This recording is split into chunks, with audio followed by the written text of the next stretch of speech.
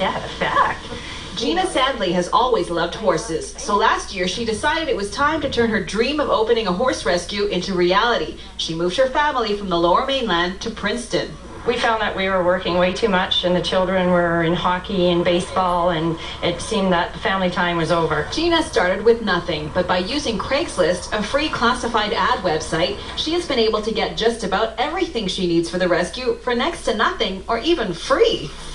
So you even find animals on Craigslist, like these the goats. the goats came from Craigslist. They did. This is Bill, and that's Cookie. They were named something else, but they've been here quite a while. I can't remember what the names were. Almost everything in here came from Craigslist.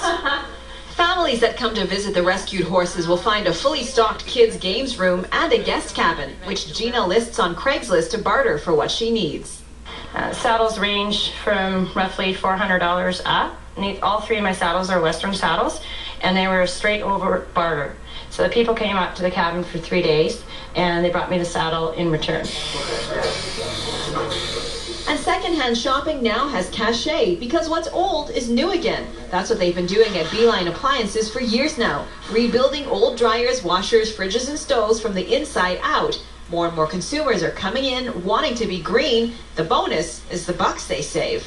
You're looking at probably, well, that's probably less than half the price. And then maybe you say 30, 40% of what a new product would sell for. Come on, sweetheart.